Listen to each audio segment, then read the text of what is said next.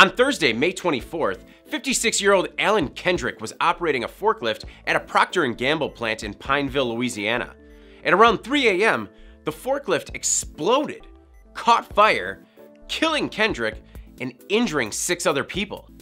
According to a report from Seeking Alpha, the forklift was powered by Plug Power's GenDrive hydrogen fuel cell. OSHA is currently investigating the incident, but the root cause of the explosion is not yet known.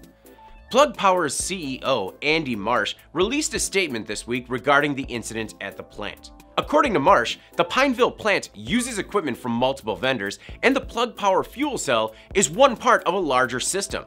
The company, as well as other suppliers involved in the material handling system, are actively contributing to the root cause investigation of the accident. According to Plug Power, which has 20,000 units in the field, the hydrogen fuel cells offer a time savings over traditional batteries. Normally, a battery takes 15 minutes to charge per shift. The GenDrive takes just two minutes.